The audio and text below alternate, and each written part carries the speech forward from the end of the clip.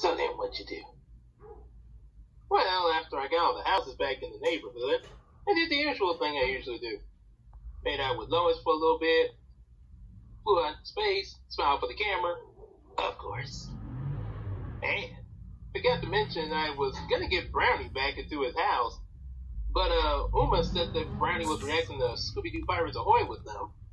So I came back to him later, and um, I think there was also something about them reacting to the sequel to a live action Scooby Doo movie. I think like the first one.